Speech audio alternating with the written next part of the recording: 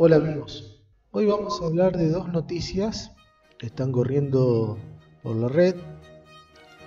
La primera es que Israel estaría por poner en venta los F-16 Barak, que son F-16 CD de los bloques 30, que fueron llevados a un estándar similar al Block 50 con electrónica israelí que se compraron a finales de los 80 y que tendrían un remanente de entre 15 y 20 años de uso dependiendo de las horas de vuelo que se utilicen.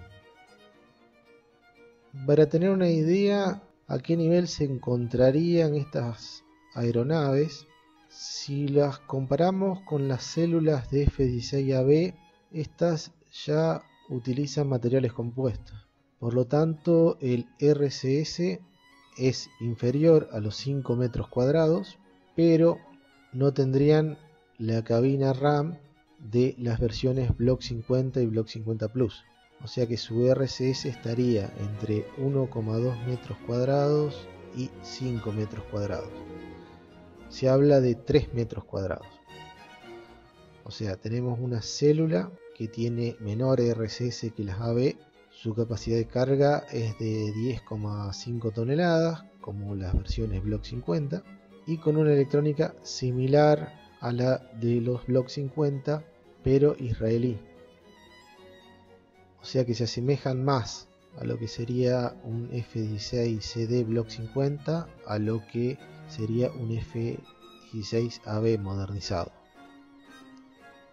Como dije anteriormente, estas células tienen una vida útil de entre 15 y 20 años, dependiendo de las horas de vuelo.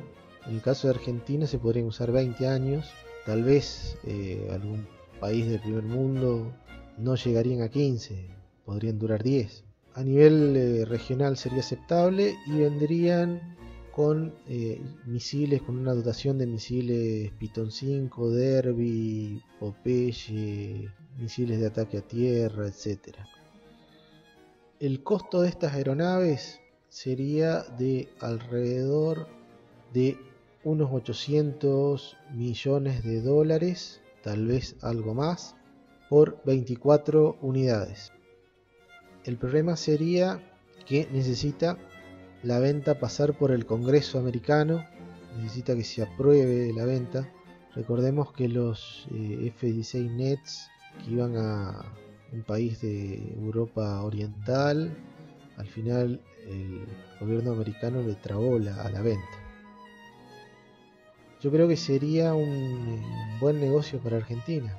Recordemos que 24 FA-50 nuevos con armamento y logística, qué sé yo, andaban en los 950 mil millones de dólares. Así que sería un, un buen negocio.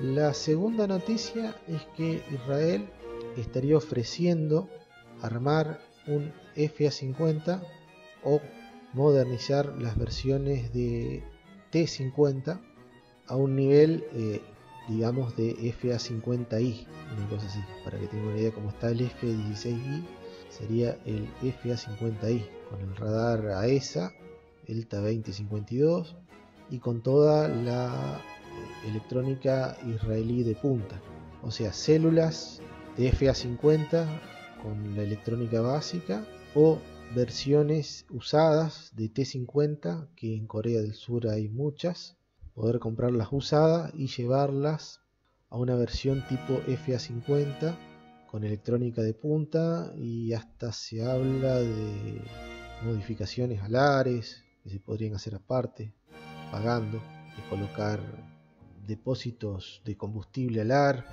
o, o colocar una turbina F414 en lugar de la F404 para aprovechar esos 600, 700 kilos o, a un diseño de tanque conformable. Supuestamente esta conversión saldría en el orden de los 20 millones de dólares por unidad, tal vez algo más, con misiles y software y demás, que siempre aparecen sobre costo en toda compra.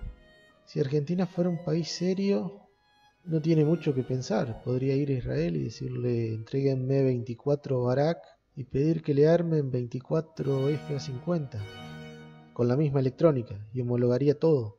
Usaría los mismos misiles para las dos aeronaves, el mismo software. Yo creo que bueno, no hay mucha vuelta que darle. Hasta la próxima.